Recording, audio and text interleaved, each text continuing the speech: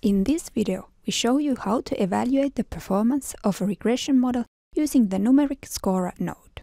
The regression model is used to predict a continuous output, for example the amount of a credit, weekly working hours, or a person's income. The numeric scorer node outputs a table including different evaluation metrics.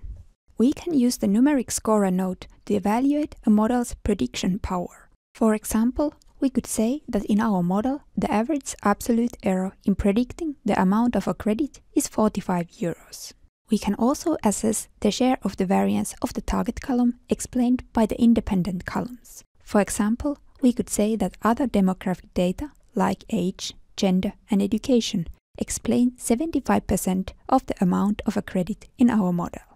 Some evaluation metrics allow for comparing models with different target columns, while others allow only for models with the same target column. Let's say we have a model that predicts the credit amount with an average error of 45 euros. Another model we have predicts the weekly working hours with an average error of 2 hours. We cannot say which of the models performs better. We also know that the first model explains 60% of the variance of the credit amount. The second model explains 80% of the variance of the working hours. If the number of independent columns is not very different in these two models, we can say that the second model performs better. Let's take a look at the workflow that trains and evaluates a regression model. Here we read and pre-process data, train a linear regression model, and apply it to the test set. The problem at hand is to predict the amount of a credit. The data include information on credit customers, for example their credit history, credit purpose, property, credit amount, and so on. The input data for the numeric scorer node must include at least two columns, one for the actual data and one for the predicted data. Therefore, we can connect it to the regression predictor node. Notice that we could also connect it to any other node providing these two required columns. Next, we open the configuration dialog of the numeric scorer node. Here we define the reference column, including the actual values. In our case, it's the credit amount column. And here in this second menu, we select the column including the predicted values. In this example, it's the column called prediction credit amount. In this output column section, we can change the name of the column including the evaluation metrics in the output table. If we enable this option at the bottom, the evaluation metrics will be provided as flow variables in the output of the node.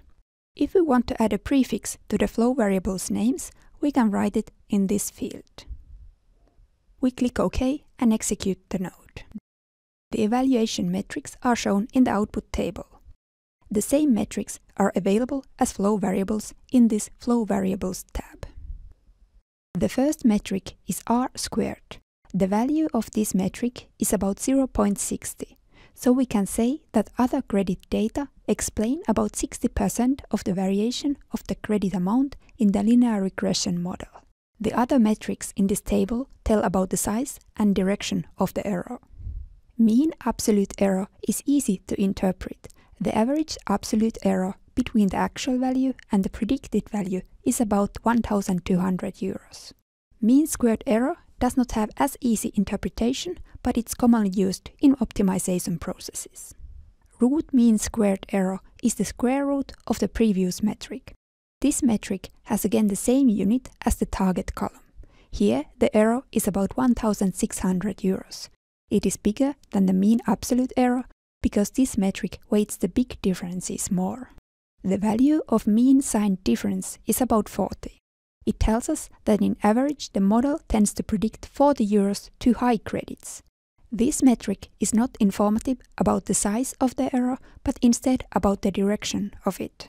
The last metric, mean absolute percentage error, is the average size of the error relative to the actual value. Here, the model predicts credit values that lie within the range of the actual values plus minus 56%. Remember that the evaluation metrics in the output table quantify the model performance. What they don't tell is if the model assumptions are violated or not. Therefore, assumptions like no multicollinearity, homoscedasticity, and the normality of the error terms have to be checked separately.